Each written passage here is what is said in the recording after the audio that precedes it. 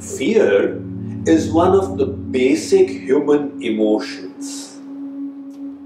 When it arises, it acts like a drag on the mind and also inhibits us from manifesting our fullest human potential. However, let me share with you a story of how it can so easily be overcome through faith. One lady got married to a naval officer who was the captain of a huge ship. After marriage, she set out on her first sea voyage with him.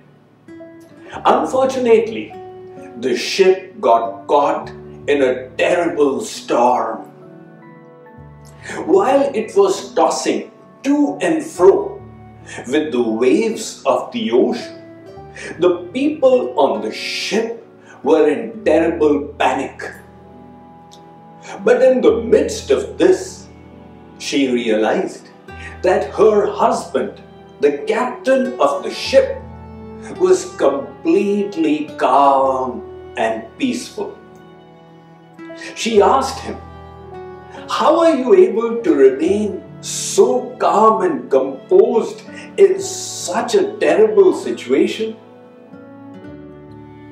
Instead of responding to her, the husband took his sword out from the sheath and placed the blade on her head. He said, My dear wife, are you scared? She responded, Of course not. Why not? The naked blade is on your head. She said, My dear husband, the sword is in your hand, and you are my well wisher. I have full faith you will never do any harm to me. The husband responded in the same way I have full faith that this ship is in the hands of God. He is also my well wisher, and whatever he does will be for my well being. Because of that faith, I have no fear. This, of course, should not be construed to mean that we don't act to protect ourselves.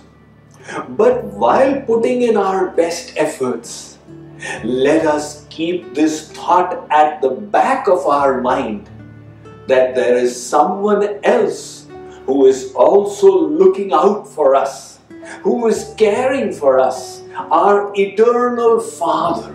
And He loves us more than anyone else. So, whatever is within His capacity, He will definitely do for us. With that faith, let us surrender ourselves to Him and see fear vanishing away from every corner of our heart.